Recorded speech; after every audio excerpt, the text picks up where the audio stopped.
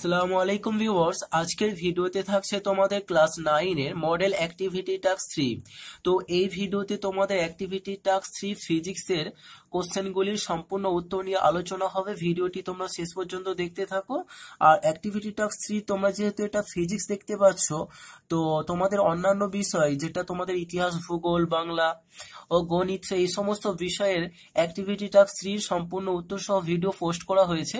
যদি তোমরা কেউ দেখে না থাকো, তো সেক্ষেত্রে এই ভিডিও লিঙ্ক পেয়ে যাবে, তোমরা অবশ্যই দেখে নেবে। আরেকটি বিষয় তোমাদের জানাই, এটা তোমাদের অ্যাক্টিভিটি টাস্ক থ্রি তো পূর্বে activity task one activity task two দেওয়া হয়েছিল। তো সেগুলোর প্রতিটি বিষয়ের সম্পূর্ণ উত্তর সহ ভিডিও পোস্ট করা হয়েছে। তোমরা অবশ্যই দেখে নেবে। এই ভিডিও ডেসক্রিপশনে লিঙ্ক দেওয়া হয়েছে, অথবা তোমরা আমার চ্যানেলের প্লে লিস্টে গিয়ে activity task one activity task two এবং অ্যাক্টিভিটি টাস্ক থ্রি এই ফোল্ডারগুলো দেখবে। তোমরা নবম শ্রেণির প্রতিটি বিষয়ের সম্পূর্ণ উত্তর সহ ভিডিওগুলি পেয়ে যাবে। এই ভিডিওগুলো থেকে তোমরা সমস্ত উত্তরগুলি খাতায় সুন্দর করে তৈরি করে রাখবে। কারণ তোমরা জানো, এই অ্যাক্টিভিটি টাস্কের মধ্যে যে কোশ্চেনগুলি আছে, এই কোশ্চেনগুলির সম্পূর্ণ উত্তর খাতায় রেডি করতে হবে। যখন তোমাদের স্কুল চালু হবে স্কুলের শিক্ষকদের কিন্তু দেখাতে হবে। আশা করি বোঝা গেছে। এবার তোমরা লক্ষ্য করো, আজকের ভিডিওতে অ্যাক্টিভিটি টাস্কে ফিজিক্স নিয়ে আলোচনা হচ্ছে। তো প্রথম প্রশ্ন বলা হয়েছে, বিজ্ঞানের বিভিন্ন শাখায় অ্যাভোগাড্রো সংখ্যার গুরুত্ব আলোচনা করো। তাহলে বিজ্ঞানের বিভিন্ন শাখায় বলতে এখানে রসায়ন, পদার্থ, জীববিদ্যা সকল কিছুতেই অ্যাভোগাড্রো সংখ্যার কিছু না কিছু গুরুত্ব আছে। তো সেখান থেকে আমরা কিছু এখানে আলোচনা করছি। ভিডিওটি তোমরা দেখতে থাকো। তো প্রথম আমরা যেটা আলোচনা করছি, দেখো এখানে বলা হয়েছে যে কোনো পদার্থের একটি অণু বা পরমাণু প্রকৃত ভর নির্ণয় করার ক্ষেত্রে অ্যাভোগাড্রো সংখ্যা প্রয়োজন হয়। দুই নম্বর গুরুত্বটা কি না? এসটিভিতে নির্দিষ্ট আয়তনের কোনো গ্যাসীয় পদার্থের উপস্থিতি অণু বা পরমাণুর সংখ্যা জানা যায়। এরপর থাকছে তিন নম্বর কোয়ান্টাম পদার্থবিদ্যা, পদার্থের কেলাস গঠন সংক্রান্ত। পদার্থবিদ্যায় অ্যাভোগাড্রো সংখ্যার ধারণা খুবই গুরুত্বপূর্ণ। এরপর পরবর্তী থাকছে ডিএনএ, আরএনএ প্রভৃতি আণুবীক্ষণিক জৈব বস্তুর গঠন ও রাসায়নিক বিশ্লেষণ অ্যাভোগাড্রোর সংখ্যার প্রয়োগ দেখা যায়। পাঁচ নম্বর থাকছে বেকারিতে বেকারিতে কীভাবে পাউরুটি প্রস্তুত করা যায় তার ধারণা পাওয়া যায়। তো দেখো, তোমাদের যে প্রশ্নটি ছিল যে বিজ্ঞানের বিভিন্ন শাখায় অ্যাভোগাড্রো সংখ্যার গুরুত্ব আলোচনা করো, আমি এখানে তোমাদের এই পাঁচটি পয়েন্ট আলোচনা করলাম, তোমরা সুন্দর করে একটু খাতায় তৈরি করে নেবে। বোঝা গেছে? তো এরপর তোমরা দেখো, দুই নম্বর প্রশ্ন। দুই নম্বর প্রশ্নটা কি আছে? না, দুই নম্বর প্রশ্নতে বলা হয়েছে এসটিভিতে গ্যাসীয় এমন একটি যৌগের three point zero one one into twenty the power twenty two সংখ্যক অণুর ভর থ্রি পয়েন্ট টু গ্রাম হলে যৌগটির গ্রাম আণবিক গুরুত্ব নির্ণয় করো। সেই সঙ্গে আরও একটি প্রশ্ন থাকছে, এসটিভিতে থ্রি পয়েন্ট টু গ্রাম গ্যাসীয় যৌগটির আয়তন কত লিটার হবে? তাহলে এখানে কিন্তু দুটি প্রশ্নের উত্তর নির্ণয় করতে হবে। তো আমাদের যেটা দেওয়া আছে এস এসটিভিতে একটি গ্যাসীয় যৌগের কি আছে না? Three point zero one one into ten the power twenty two সংখ্যক অণুর সংখ্যা দেওয়া অণুর ভর অণুর দেওয়া আছে।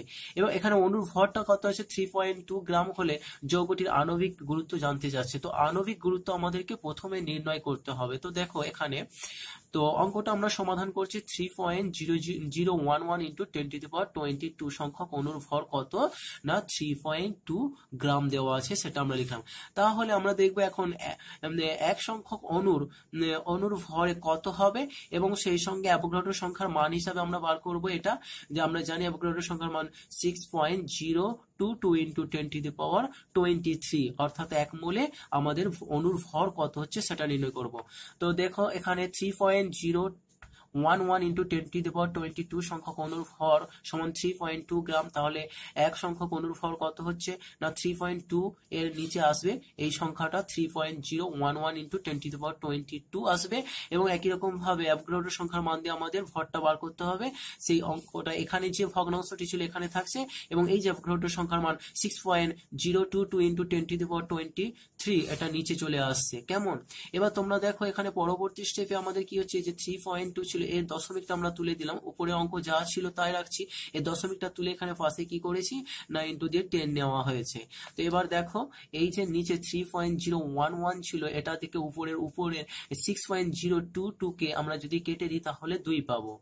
আচ্ছা এখানে আছে ten to the power twenty three আর এখানে নিচে আছে দেখো ten to the power twenty two এবং একটা আছে টেন তাহলে এটাকে আমাদের যোগ, এটা যেহেতু গুণ করতে বলা হয়েছে, তাহলে পাওয়ার কি হবে? যোগ হবে তাহলে টোয়েন্টি টু আর এখানে একটা আছে, তাহলে টোয়েন্টি থ্রি হবে, তাহলে উপর নিচে কি হবে? তাহলে বাদ হয়ে যাচ্ছে, পড়ে থাকছে three thirty two into two তাহলে এটাকে আমরা যদি মাল্টিপল করি, তাহলে সিক্সটি ফোর গ্রাম পাবো।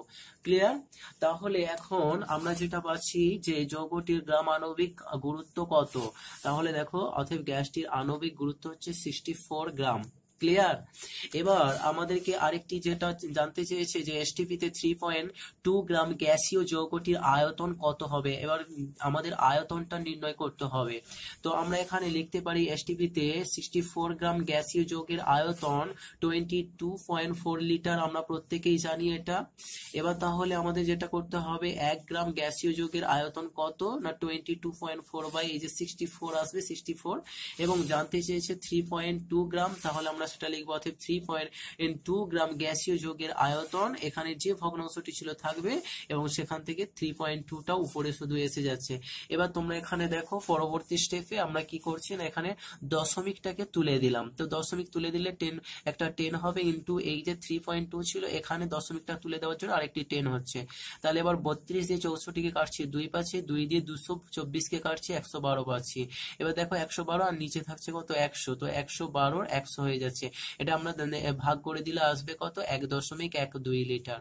তাহলে আমাদের উত্তরটা আসছে যে থ্রি পয়েন্ট টু যেটা প্রশ্ন করেছিল যে এসটিপিতে থ্রি পয়েন্ট টু গ্রাম গ্যাসীয় যৌগটির আয়তন কত লিটার হবে? না, সেখানে আয়তন হচ্ছে যে one point one two litre পাচ্ছি। আশা করি বোঝা গেছে। যাদের বুঝতে অসুবিধা হবে, আর একবার দেখে নেবে ভিডিওটি। এবার তোমরা দেখো, এটা দুই নম্বর প্রশ্ন, এবার আমরা আসব তিন নম্বর প্রশ্নতে। তিন নম্বর প্রশ্নটা দেখো, তিন নম্বর প্রশ্ন বলা হয়েছিল যে, কোনো ব্যক্তি হাতে একটি সুটকেস সুটকেস নিয়ে ভূমির সঙ্গে লম্বভাবে ঝুলিয়ে, অনুভূমিক তল বরাবর হেঁটে গেল। অভিকর্ষ বলের বিরুদ্ধে কৃতকার্যের মান কত হবে তা ব্যাখ্যা করো। তাহলে প্রশ্নটা বোঝো ভালো করে। কোনো ব্যক্তি হাতে সুটকেস নিয়েছে এবং অনুভূমিক তলে লম্বভাবে সে ঝুলিয়ে, অর্থাৎ হাতে সুটকেসটাকে ঝুলিয়ে নিয়েছে মানে সে রাস্তা দিয়ে হোক বা অনুভূমিক তলে সে হেঁটে চলেছে। এখন প্রশ্ন করা হচ্ছে যে অভিকর্ষ বলের বিরুদ্ধে কৃতকার্যের মান কত হবে সেটা আমাদেরকে ব্যাখ্যা করতে হবে। তো এর উত্তরটা দেখো, তোমরা বলা হয়েছে যে কোনো ব্যক্তি সুটকেস হাতে অনুভূমিক তলে হাঁটতে শুরু শুরু করলে বা করে, তাহলে সুটকেসের উপর বল প্রযুক্ত হওয়ায় সুটকেসের স্মরণ হবে। অথচ, এক্ষেত্রে অভিকর্ষ বলের বিরুদ্ধে কোনো কার্য করা হবে না। কারণ, এক্ষেত্রে সুটকেসের স্মরণ এবং অভিকর্ষ বলের অভিমুখ পরস্পর কি? লম্বভাবে থাকে। আর আমরা জানি যে বলের অভিমুখ এবং বস্তুর স্মরণের অভিমুখ পরস্পর লম্বভাবে থাকলে কৃতকার্য শূন্য হয়ে যায়। বোঝা গেছে বিষয়টি? তাহলে এখানে বলেছিল কৃতকার্যের মান কত? সেটা শূন্য পাচ্ছি এবং সেটা কীভাবে ব্যাখ্যা করে আমরা এখান থেকে উত্তরটি জানিয়ে দিলাম। বোঝা গেছে বিষয়টি? পরের প্রশ্ন তোমরা লক্ষ্য করো। তো চার নম্বর প্রশ্ন বলা হয়েছে, একটি একশো গ্রাম ভরের কোনো বস্তু পাঁচশো মিটার উচ্চতা থেকে বাধাহীনভাবে পড়তে শুরু করার তিন সেকেন্ড পরে তার গতিশক্তি কত হবে নির্ণয় করো। তাহলে কি বলা হচ্ছে যে একশো গ্রাম ভরের কোনো একটা বস্তু এবং সেটাকে কি করা হচ্ছে না, পাঁচশো মিটার উঁচু থেকে বাধাহীনভাবে নিচে ফেলা হচ্ছে বা পড়তে শুরু করছে। তো যেখান থেকে পড়তে শুরু করল, তার ঠিক তিন সেকেন্ড পরে গতিশক্তি কত হবে সেটা আমাদেরকে নির্ণয় করতে হবে। দেখো যেহেতু আমাদের গতিশক্তি নির্ণয় করতে দিয়েছে, তো আমরা জানি গতিশক্তি নির্ণয়টা কি? না one by two into M V square কেমন? আর এখানে আমাদের প্রশ্নটার মধ্যে কি দেওয়া আছে? না, বস্তুর ভর দেওয়া আছে। দেখো, এখানে বস্তুর ভর এম ইকুয়াল হান্ড্রেড গ্রাম দেওয়া আছে। আচ্ছা আমাদেরকে গতিশক্তি নির্ণয় করতে বলেছে। তো এই যে বস্তুর ভরটা গ্রাম আছে, আমরা কিলোগ্রামে প্রকাশ করে দেবো। তাহলে কি করতে হবে? না, আমাদেরকে এটা থাউজেন্ড দিয়ে ভাগ করতে হবে। কেমন? তো শূন্য শূন্য শূন্য শূন্য কেটে গেলে ওয়ান বাই টেন কিলোগ্রামে প্রকাশ হয়ে গেল। এবার আমাদেরকে কি করতে হবে? বস্তুর বেগ বস্তুর বেগটাকে এখানে বার করতে হবে। তো বস্তুর বেগ এখানে প্রাথমিক বেগ, যখন বস্তুটা পড়তে শুরু করেছিল, তো প্রাথমিক বেগ এখানে জিরো ছিল।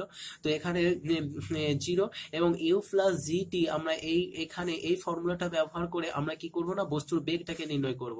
তাহলে প্রাথমিক বেগ জিরো ছিল এবং জি এখানে অভিকর্ষজ ত্বরণ আমরা জানি nine point nine point eight এবং টিটা এখানে সময় আচ্ছা টি সময় অর্থাৎ থ্রি সেকেন্ড পরে বলেছিল, তো থ্রি আসছে।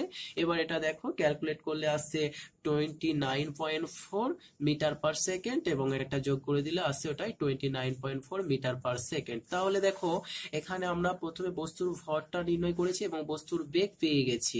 এবার আমাদেরকে গতিশক্তিটা নির্ণয় করতে হবে। তাহলে দেখো এম এবং ভি উভয়ের ভ্যালু আমরা যেহেতু পেয়ে গেছি, আমাদের গতিশক্তি নির্ণয়ের ফর্মুলাটা ছিল one by two M V square তাহলে এখন বস- বস্তুর গতিশক্তি আমরা ওয়ান বাই টু এবং এম এম এর ভ্যালু আমরা জানি ওয়ান বাই টেন তাহলে ওয়ান বাই টেন ইন্টু কি আছে? ভি স্কোয়ার অর্থাৎ ভি এর ভ্যালু যেটা পেয়েছি টোয়েন্টি নাইন পয়েন্ট ফোর এটা দুবার বসে যাবে twenty nine point four into twenty nine point four তো এটা আমরা ক্যালকুলেট করব, করলে আমরা এখানে পেয়ে যাব ফোর থ্রি পয়েন্ট অর্থাৎ forty three point two one eight joule clear তো ভিউয়ার্স আশা করি ভিডিওটা তোমাদের উপকারে আসবে এবং তোমরা অবশ্যই অবশ্যই এগুলোকে ভালো করে খাতায় তৈরি করে নেবে।